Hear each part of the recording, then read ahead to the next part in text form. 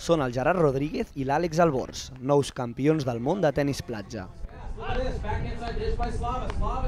La parella catalana s'ha imposat en la final a Cristóbal Ramírez i Slava Tetkov en un partit molt igualat.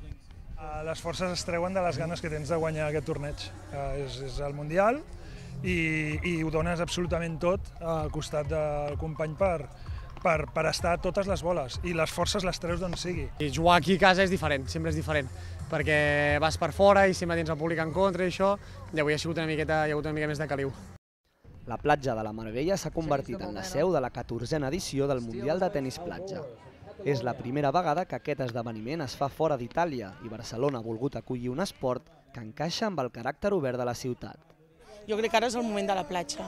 I llavors, en aquest sentit, jo crec que és una ciutat, doncs, evidentment, de platja, una ciutat on la gent li agrada venir i on jo crec doncs, que també alhora és una ciutat on la gent li agrada l'esport. Som capital de l'esport d'Europa i del món i, per tant, jo crec que eh, que es facin doncs, campionats del món com aquest doncs, és una bona oportunitat per seguir posant el nom de Barcelona en el món, en aquest cas amb l'esport, però amb esports de platja. Tot i ser un esport encara minoritari, Catalunya s'ha confirmat com una gran potència. De fet, en categoria femenina, les catalanes Gemma Egea i Laura Herrero han revalidat el títol de l'any passat. Aquest any ha sigut molt més dur que l'any passat i hem tingut sort de que teníem a l'afició darrere, que això l'any passat ho vam notar a faltar perquè clar, estàvem a Itàlia, jugàvem contra italianes, una final super disputada, hem jugat amb una noia que jugava superbé i mira, hem guanyat per sort.